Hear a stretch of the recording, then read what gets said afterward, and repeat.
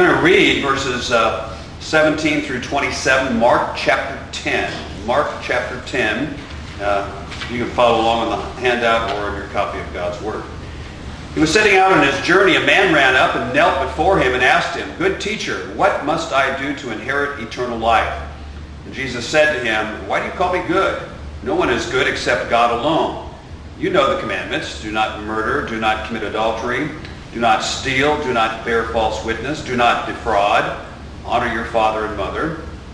And he said to him, Teacher, all these things I kept from my youth. Jesus, looking at him and loved him, said to him, You lack one thing. Go sell all that you have and give to the poor, and you, have, you will have treasure in heaven. And come and follow me. Disheartened by the saying, he went away sorrowful, for he had great possessions.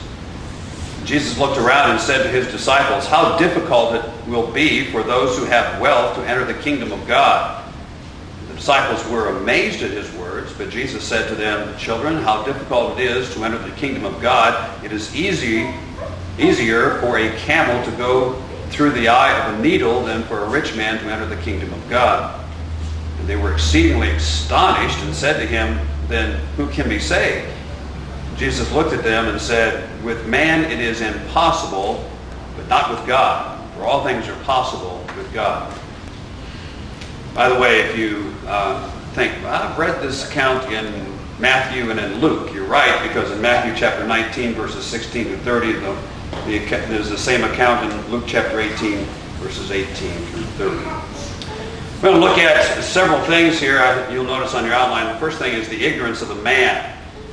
First thing I would ask is how uh, did he show respect to Jesus? And the question is, was it real?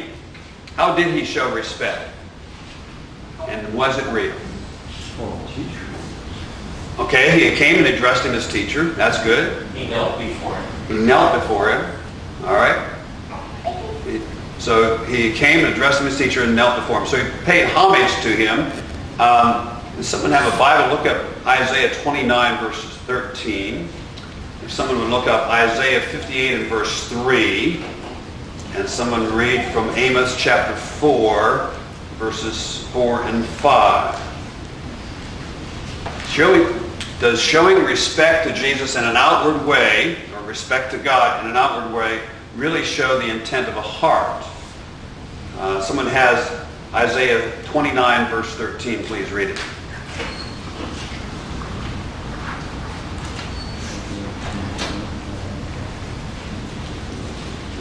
And the Lord said, Because this people draw near with their mouth and honor me with their lips, while their hearts are far from me, and their fear of me is a commandment taught by men. Okay, so it looks like respect.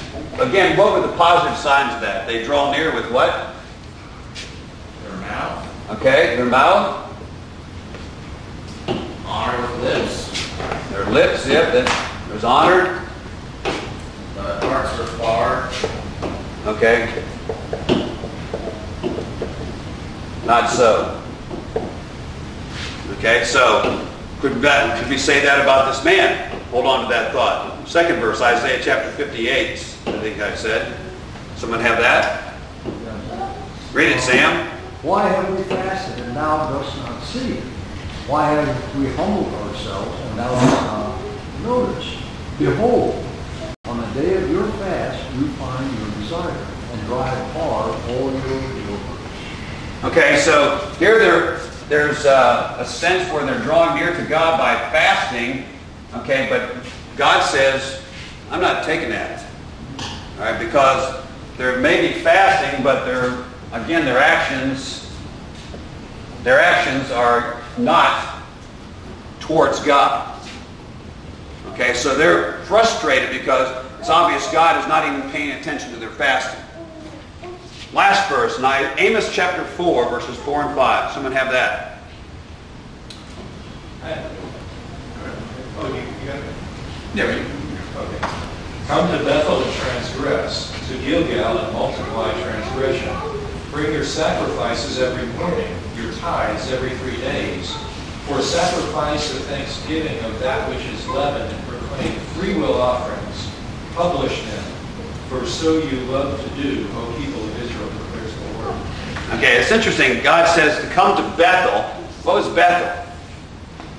That's where they set up the uh, worship away from where they were supposed to be. Yeah, the, the, when, when the kingdom split, the north and the south, okay, the northern kingdom was Israel and the southern kingdom was Judah.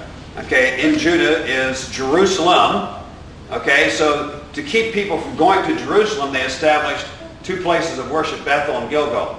Okay, so God says, okay, you want to do that? Come to Bethel and you're sinning. All right? Now look at, look at what they're bringing. They're, uh, they're bringing sacrifice. Um, they're bringing uh, tithes. Okay? And, uh, and offerings. Now stop and think about that. Each one of these, we could, we could sin by proclaiming we love God with our mouth and our lips. We could even be fasting. We could even be bringing sacrifices, tithes, and offerings. And we're not hitting the mark. What's wrong with that picture? Why are those not accepted? With the ulterior motives. Yeah, motives and heart. Exactly. Yeah, and put in the words of Moses in Deuteronomy, their hearts weren't circumcised, Yeah. just outwardly they were circumcised. Okay. Well, let's apply that to the man. He's got the outward signs that he he shows respect to Jesus, right? He kneels down. He shows respect in his title to the Lord Jesus Christ. Calls him good master, good teacher. All right. So was it real? I would say one, one evidence, and I'm not sure exact answer, but one evidence it is real, he comes to Jesus, he says he has done all these things, but he still realizes he lacks something because he's asking what, and just acknowledging that Jesus knows what that is. Um, he, he realizes he lacks something. Okay. Well, you know, that could be true, but he didn't realize the price was too high. Yeah. Right.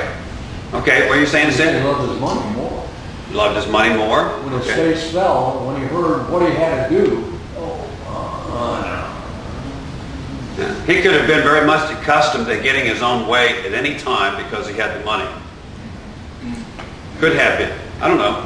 Let's look at uh, how is his real ignorance of pride uh, or pride, ignorance or pride demonstrated? By saying he's followed all these things from the time he was Or let's back up. What is it, what was his question? What must I do? Ah, his pride. What must I do? Interesting. And isn't it, isn't it interesting? Uh, I'm doing something to inherit. Who's in charge of inheritance? The person who has the who has the uh, whatever you want in the inheritance. Yeah, that has the resources. Right. Okay, so the man says, "What must I do to inherit? Get, let me get me on this list of an eternal life. How can I get there?" So basically, it's his pride, really it's the ignorance of what eternal life is all about. So, how do you demonstrate ignorance to the law?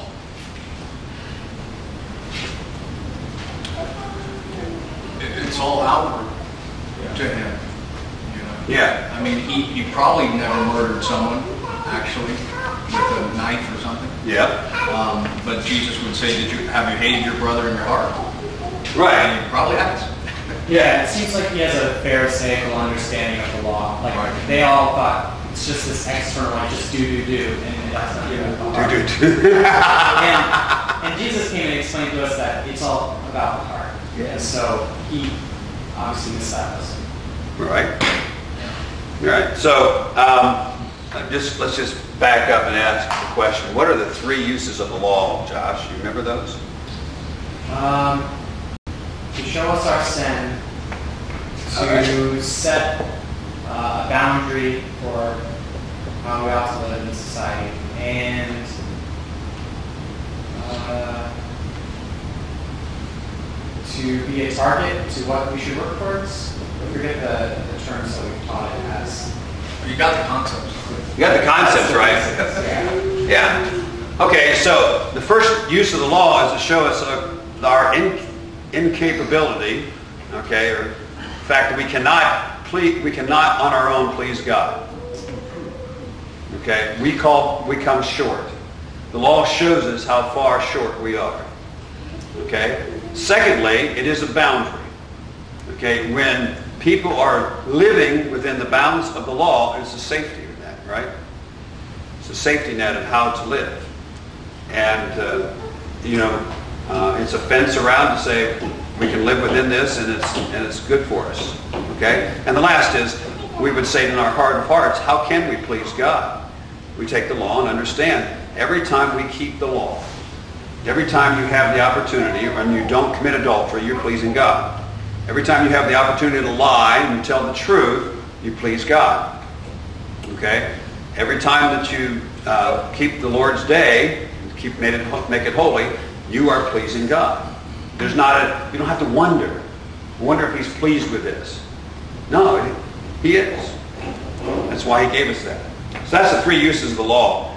Uh, Deuteronomy chapter 4, verse 10, and Deuteronomy 17, verse 19. Let's read those and rejoice the fact that God has given us his word that we might know how to live.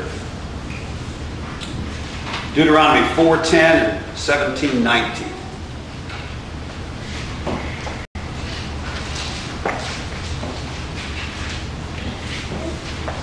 Someone have 410. Read aloud, please.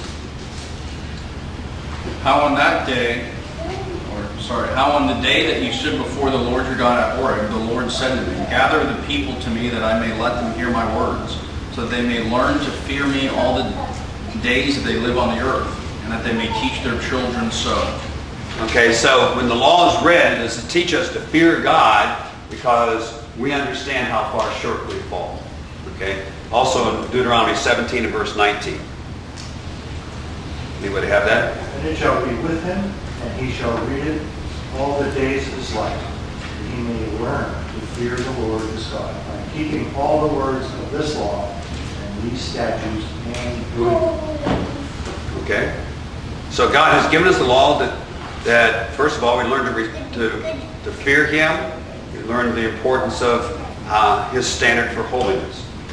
All right, the question I have is, how does the man's answer, because he said, these things I have kept uh, from my youth, how does his answer compare with Paul in Philippians 3, 4, and 6?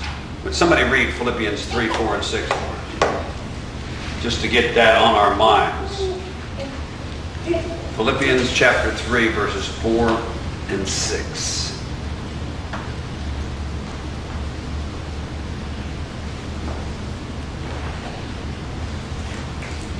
You know, I, I, I uh, discipled this guy. I don't know if you call it disciple. It's kind of evangelistic discipleship. One of my friends, and uh, uh, he first thing he does is go to the table of contents in his Bible, and then he writes down the scripture, and then he writes down the page when he gets there. Always wonder. Uh, he's learning to he's learning to go through the Bible. That's an interesting thing. But the sad part about it, he's in a church that doesn't crack open the Bible. So that's a sad case. Anyway. I've got a Bible that has little, little things on it. And you just, go up to it. The tabs? Yeah. Nothing wrong with that.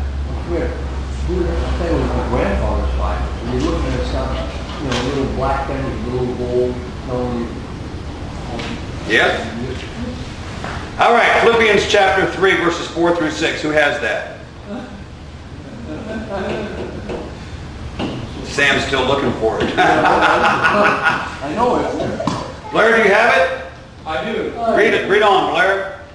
Though I myself have reason for confidence in the flesh also, if anyone else thinks he has reason for confidence in the flesh, I have more.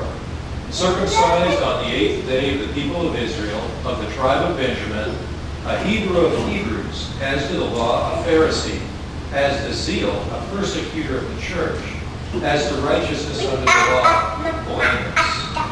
Okay, let's just, let's compare um, Paul and Richie. Richie, Richie, Rich. Richie Rich. You know, the attitude of Richie is alive and well in today's society. His attitude basically, In today's church. because he, well, you know, he says, I've done all these, you know, I'm good to go, is that Christ was not necessary. Christ's sacrifice Okay. was not necessary. They got it. They're, they're good enough, they, they, they're hitting the mark. Okay, so his attitude is, I'm good, right? I'm hitting the mark. All right? Whereas the attitude of Paul is what? Well, in verse 7, he says, like anything I have, uh, you know, anything, everything I have, I consider nothing. He, he considers everything that those guys are thinking, uh, that makes Christ irrelevant. Paul is saying it's all rubbish. Right, because uh, uh, Philippians chapter 3 is about the, the circumcisers, the Judaizers came to Philippi, and know, it's interesting in chapter 3, verse 2, he calls them the dogs. Okay, that they're, they're pushing this legalism on the church, and he says, you want to follow those guys? According to them, according to their standards, he says, I've got them topped according to their standards. That's what he's talking about in Philippians 3. And so, but then verse 7 is very important because then he says, that's all rubbish. It's a very crude term that he uses too. So, okay, so that's all rubbish, keeping the law according to the standards of the, the Judaizer circumcision party. Okay? So, here we have Paul would look at this and say, without Christ I have nothing. Okay, the rich young Richie Rich over here, he, I don't need Christ. Look at all, I'm good enough. Okay. Um, the question is, how does his answer demonstrate his self-ignorance of his sinful heart? And this is where talking about it's the attitude is everywhere, and it is an ignorance of the heart. Some, is it an ignorance on? Uh, is it a self-ignorance? I just want to turn away from it, or what? Maybe they just need the Word of God, and we need the Spirit of God to open up the ignorance. But how is his answer a demonstration of his self-ignorance? When he says what? I'm good. I've done all these things. Really? Really? Guess he could have been pressed. Jesus could have pressed him like uh, in the Sermon on the Mount when he goes through the different aspects of the law and says, you know, let's really look at whether you're keeping the law. All right, I've got several scriptures here. Uh, Nick, would you look at Jeremiah 17, verses 9 and 10? Blair, would you look up Psalm 139, 1 through 4? Dave, would you look up Hebrews 4, 12 and 13? Sam, would you look up 1 John 1, 8 through 10? And Josh, would you look up Psalm 19, 7 through 13? The heart is deceitful above all things and desperately sick. Who can understand it? I, the Lord, search the heart and test the mind, to give every man according to his ways, according to the fruit of his deeds. Okay, the heart is deceitful. The heart is deceitful in us to make us think that we're better than we are. And that was very deceitful there. And as the Lord who displays that, and that's what Jesus was doing, he was prying open the heart when he asked this man these questions and pointed out to him. All right, Blair, Psalm 139, verses 1 through 4. Hear the word of God. O Lord, you have searched me and known me. You know me when I sit down and when I rise up. You discern my thoughts from far. You search, search out my path and my lying down and are acquainted with all my ways. Even before a word is on my tongue, behold, O Lord, you know it altogether. Is that a humbling passage of Scripture or what? God knows everything about us. He knows our words before we speak them, our actions before we do them. And the real, the real kicker on that is the fact that God still loves us. Yeah? Hebrews 4, 12 and 13, Dave. For the word of God is living, active, sharper than any two-edged sword, piercing in the division of the soul and spirit, joints and marrow, and discerning the thoughts and intentions of the heart. And before him no creature is hidden, but all are open and laid bare to the eyes of him whom we have to It's interesting.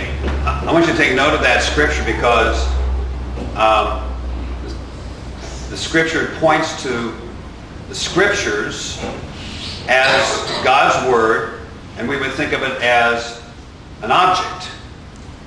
But you'll notice that last verse that Dave read is that no creature is hidden from his sight.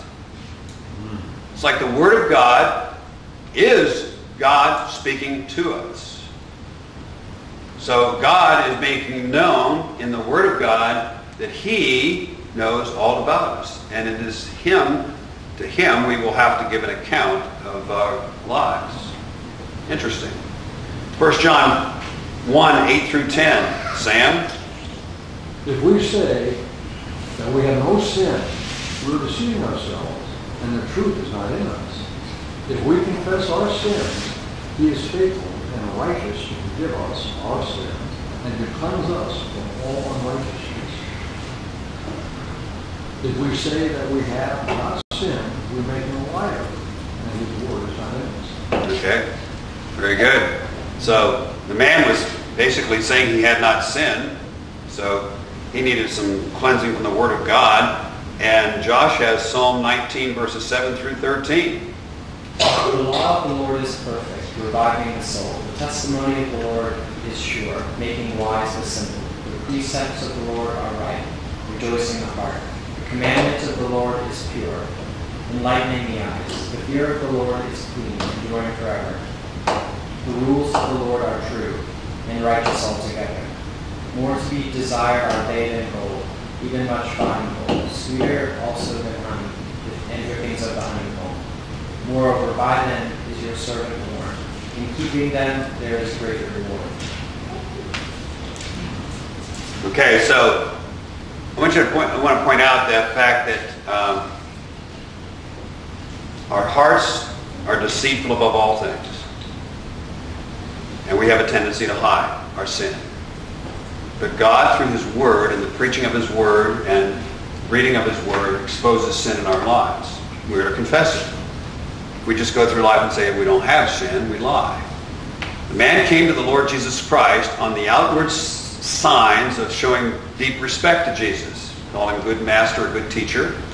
Okay, what must I do to inherit eternal life? He heard about the law, which Jesus pointed out aspects of the law that deal with others, he said, I'm blameless, basically. I've kept all those in my youth. And, all right, so the very fact that he was ignorant of his own heart, and he was denying it, his own heart. We have a tendency to do that too. We all want to just feel like we're all right, okay? And that's what the man was doing. Second point we have on your outline there, that the love of Christ towards sinners. This is a hard thing for us to comprehend, especially when we've come to the Reformed faith, is that we have, sure enough, sinners out here, and we, we uh, go to Romans chapter 9 and says, Jacob have I loved, and Esau have I hated. Uh, we see in uh, Psalm 7 and verse 11 that the Lord feels indignation every day toward the, the evil people, the evil ones, or the um, toward the he's the righteous judge, and he has, uh, or as one scripture says, he hates the wicked every day. So sometimes we get in that and say, well, God hates sinners, and and uh, uh, so then we come to a place like this, and it says that Jesus loved him. Okay, now we would run with that and say if he loved him, uh, then we must say that maybe he's one of the elect. Okay, well we don't know what happened to the man down the road, whether he did come to Christ or not. But at this point, we have to look at the Lord Jesus Christ and say, seems to be giving him the free offer of the gospel and he's turning away from it. And Jesus even makes it known that it is difficult for those who are rich to come into the kingdom of God. It's easier for a camel to go through the eye of a needle. And by the way, that's not the place in Jerusalem that's called the needle. Okay? There is no such place, number one. Number two, Jesus pointed out something that was so ridiculous that uh, that that you could, it could never happen. A camel going through the eye of a needle. All right. That's why he says, as ridiculous as that is a rich man coming into the kingdom. It takes the power of God. So, how do we put it together? Let's read Matthew chapter 23, verses 37 through 39.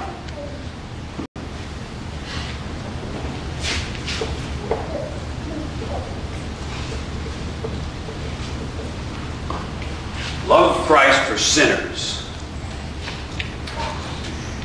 Someone read that, Matthew 23, 37 through 39. You have that? Yeah. All right. Oh, Jerusalem, Jerusalem, the city that kills the prophets and stones those who are sent to it. How often would I have gathered your children together as a hen gathers her brood under her wings, and you were not willing. See, your house is left you desolate. For I tell you, you will not see me again until you say, Blessed is he who comes in the name of the Lord. And sometimes we have a hard time grasping something, and God shows us here through the words of our Lord Jesus Christ that he wept over Jerusalem. He cared about these people. And yet these are the people that are going to turn on him. And these are the people that are going to suffer through the desolation of the uh, coming armies into Jerusalem in, in 70 AD. So he cares enough about them, and he actually he's weeping over them when he's doing this. Did he love them? Would you say he loved them? Obviously he does. He cared about them, right? Did he love them in the same way that he loves his elect? No. It's not God's will that any should perish. But He is holy. He's holy. Okay? There's a scripture I want you to, to read of God's sovereignty and his grace in Ezekiel 18 and verse 32. This is one of those you might want to underline in your Bible because it is an important text. Ezekiel 18 and verse 32. God is pronouncing judgment and calling on repentance. And he's talking about what he's going to be doing to people that do not take heed to his word. And then he says this. Ezekiel 18 and verse 32. He says, I have no pleasure in the death of anyone, declares the Lord, the Lord God. So turn and live. Sounds like a free offer of the gospel, doesn't it? Sounds like, you know, sometimes we decide who who's going to be a good candidate for the gospel. so we might look at this rich young ruler or young man and feel like, he just wasn't one of the elect. He went away sad. Okay? Uh, Jesus had compassion, I'm sure, the gospel. When was the last time you saw a judge sentence someone to death and like, this is Yes. so fun? You know, It's Yeah. not how it, where it's a somber thing. It's a very somber thing. Exactly right. Yeah. Okay. So we have to understand. Um, I like what we were talking about this yesterday in our leadership training about. Um, um, I think some. Did you mention Martyn Lloyd-Jones or somebody? But the quote is I did not. Martyn Lloyd-Jones uh, said that preachers should be accused of being Arminians by presenting the free offer of the gospel in such terms to call people to come to the Lord Jesus Christ. Okay? Martyn Lloyd-Jones, if you ever heard him, he, he believed in the sovereign grace of God. But he would call sinners to repentance. He would call people to, to believe on the Lord Jesus Christ and be saved. So, uh, that's the free offer of the gospel, but why do men turn from the gospel? Turn to John chapter 3 and verse 19, and John chapter 5 and verses 40 through 42. 3, 19 and 5, 40 and 42.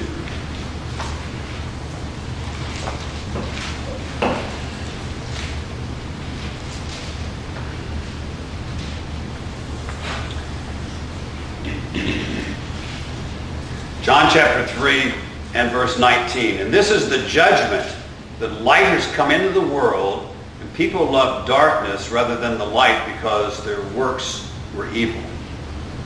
And that's, that's where people are. They love the darkness, and so they need the quickening work of the Holy Spirit to give them a desire for God. To open their ears so they can hear. And open their hearts so they believe. Of course, open their minds so they understand. John chapter 5 and verse 40 says, You refuse to come to me that you may have life. I do not receive glory from my people, from people, but I know that you do not have the love of God within you. That's the difference. The difference is God's sovereign love within us makes the difference. And so the man, we would look at this man and say, okay, Jesus cared enough about him to confront him about his real heart condition, okay, by asking him, did he keep the law? And he said, oh yeah. And he gave the example that, you know, he kept the law even from his youth. And Jesus pointed out to him, well, he lacked one thing. What is the one thing, by the way?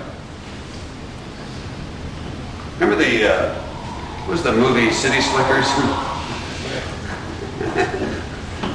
one thing.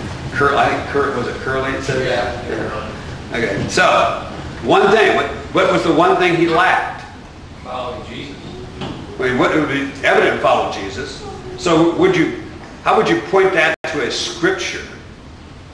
A very important scripture would be the one thing. Well, I, I don't know if this is what you're getting at, but but Jesus says, "I'm the way, the truth, and the life." He is the one. Yeah. He is the one thing that he's I'll, lacking. I'll buy that. I was looking for something. answer, I don't know. Looking for something that you would probably say was, uh, man came and said, what's the greatest commandment? What is the greatest commandment, Josh?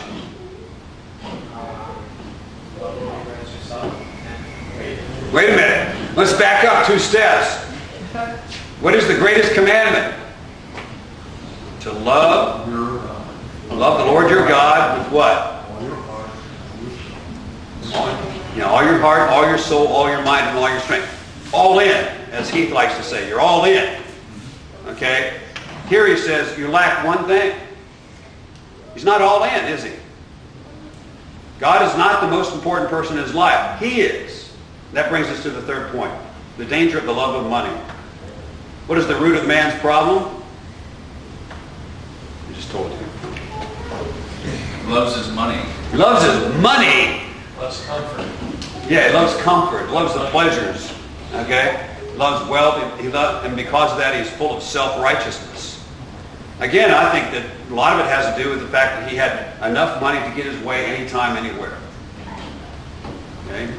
Sometimes these uh, professional athletes get to feel like they're above the law because they get their own way anytime, anywhere because they have so much money. They just, I think I might have told him one time, friend of mine that I interviewed uh, when I was in radio was a high school basketball coach and he was friends with one of the top NBA players.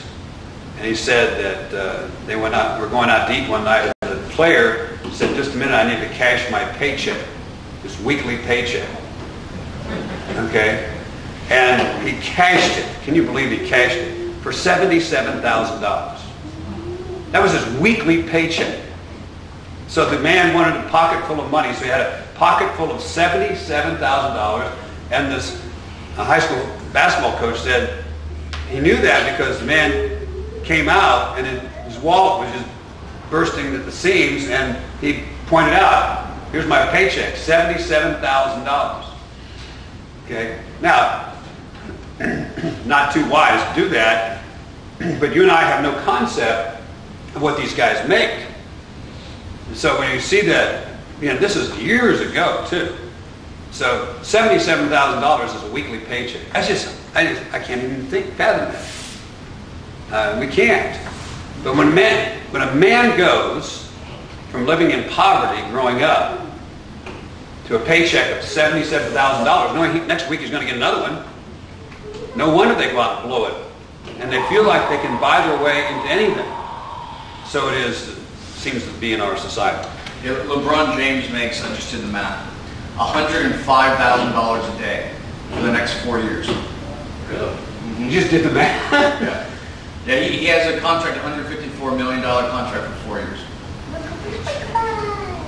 It's insanity. wow. Sorry, rabbit trail, well, it's interesting to me. With that said, let's turn to 1 Timothy chapter 6, verse 10, then Matthew chapter 13, verse 22, and then John chapter 15, verses 1 and 2. The danger of the love of money. This man went away, went away sad. His countenance was down because he loved his money more than God with everything, all that he had, right? So here's an example of what happens. 1 Timothy chapter 6 and verse 10. Someone read that, please. Who has it? The love of money is the root of all evils. It is, it is the root of some have wandered away from the faith and pierced, and pierced their hearts with many pangs. So how would you describe the person that loved? This is a person that probably was in the church because they, they, they wandered away from the faith. So maybe they never had it. We don't know, but okay, well, regardless, they're just an unrepentant sin, whatever. Notice it says they, they pierced their heart with many pangs, hurts. I've heard it uh, described as uh, uh, like a pig on a spit, just turning being slowly roasted in its own juices. roasted alive. Okay, that's, well, that's a good graphic illustration. All right. All right, so Matthew chapter 13, verse 22, the parable of the soils that Jesus taught, and one of the soils was the seed sown among thorns. And how does that read, Heath? This is the one who hears the word, but the cares of the world and the deceitfulness of riches choke the word, and it proves unfruitful. Whoa. Okay, think about it. Cares of the world and the deceitfulness of riches choke it out. All right, so you're not being fruitful in the work of the Lord Jesus Christ. On the other hand, John 15, verses 1 and 2. I am the true vine, and my Father is the vine dresser. Every branch in me that does not bear fruit, he takes away, and every branch that does bear fruit, he prunes, that it may bear more fruit. How would you apply that to a member of the church that is all of a sudden seeking after wealth rather than the things of God?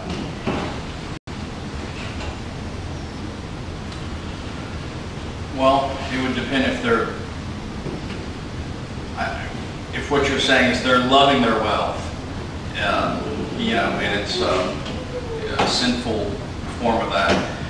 Um, you would you would warn them with the- this passage. And Right. Say simply because you're a professor doesn't mean that you actually possess the faith that you profess. Right, and the, the good part about it is if something happened in their lives that God is pruning them to get their attention, it's a good thing, right? Because God's promised to prune us. So when we get off the track, the Lord doesn't leave us. All right.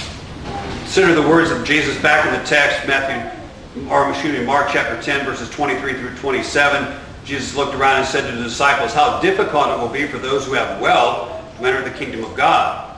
The disciples were amazed at his words, but Jesus said to them, Children, how difficult it is to enter the kingdom of God. It is easier for a camel to go through the eye of a needle than for a rich person to enter the kingdom of God. And they were exceedingly astonished and said to him, Then who can be saved? Jesus looked at them and said, With man it is impossible, but not with God, for all things are possible with God. So how can we have uh, a focus on money or wealth or ease, and uh, that can keep us from being totally sold out? And how can we live with those things or live without those things and still please God? The answer is in Philippians 4, 11 and 1 Timothy 6 and verse 6. And on these we'll close this morning. Philippians 4, verse 11.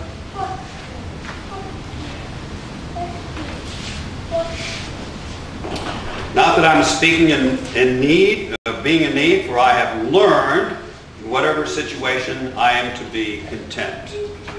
We learn contentment where we are. Paul says, I've learned to abound, I've learned to be abased, I've learned to have and not to have. Secondly, 1 Timothy 6 and verse 6, godliness with contentment is great gain. Oh, to pray that we, on a daily basis that God would help us to be content with our state of life, content with Him, and to seek after godliness. Any other word? It's a beautiful account here that Lord Jesus Christ still, knowing all things about this man before he ever talked to him, still presented the gospel to him, didn't he? called him to repent of his ways and follow him. God is a gracious God.